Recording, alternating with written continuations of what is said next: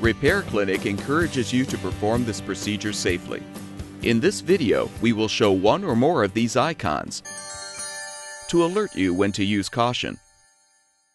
As with any repair, be sure you've unplugged the appliance before beginning. Your first step is to move the control panel out of the way. To do this, remove the screws found at either end. On some models, these screws may be located in the rear panel or they may be covered by plastic end caps. Pull the end cap off from the top to access the screw. Remove both screws. And rotate the panel up. Some models use clips instead of screws to secure the control panel. Insert a putty knife between the control panel and the cabinet to release the clips.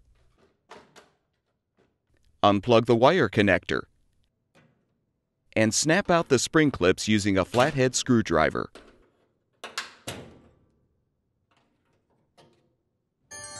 Tilt the cabinet towards you, slide forward, and remove.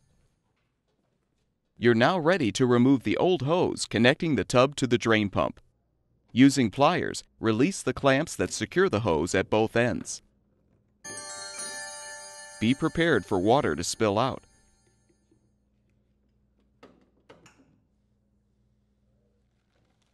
Prepare the new hose for installation by sliding the new clamps onto the hose. Now, slide one end of the hose over the pump inlet port and the other end over the tub outlet port. Tighten both clamps and lock them into place with a flathead screwdriver. Now, reinstall the cabinet. The front edge of the cabinet slides underneath the base frame. Use your foot to push it into position. Align the two notches in each side of the cabinet with the tabs on each side of the base frame. Now ease the cabinet to match up with the rear panel. Reinstall the spring clips. Reattach the wire connector. Rotate the control panel down and lock the clips into place. Or reinstall the two screws.